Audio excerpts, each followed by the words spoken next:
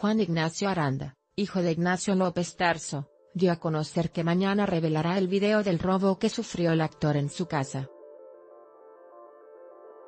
En entrevista con Ciro Gómez Leiva, Aranda reveló que el video será presentado en el Ministerio Público como prueba del atraco en el que los delincuentes se llevaron una caja de seguridad, de la cual ignora su contenido. Se robaron una caja de seguridad.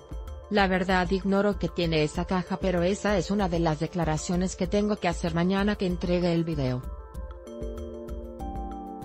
Por otro lado, dijo que los ladrones no se llevaron todo el motín pues al parecer, debido a la prisa que llevaban, olvidaron una de las maletas donde habían guardado algunas de las cosas robadas. No te pierdas, arrestan a Daniela Castro, actriz de Televisa, por robar ropa en una tienda confirmó además que fueron dos horas las que los maleantes estuvieron en el domicilio sustrayendo los objetos. Por último, manifestó que su familia tiene miedo tras lo sucedido, y que su padre se encuentra muy enojado pero que no ha parado de trabajar. Andamos con miedo.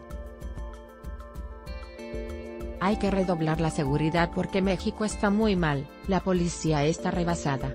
Mi padre está enojado pero ha seguido dando funciones como el actor profesional que es. Será el día de mañana a las 10 en que Aranda irá al Ministerio Público para entregar el video y ampliar su declaración.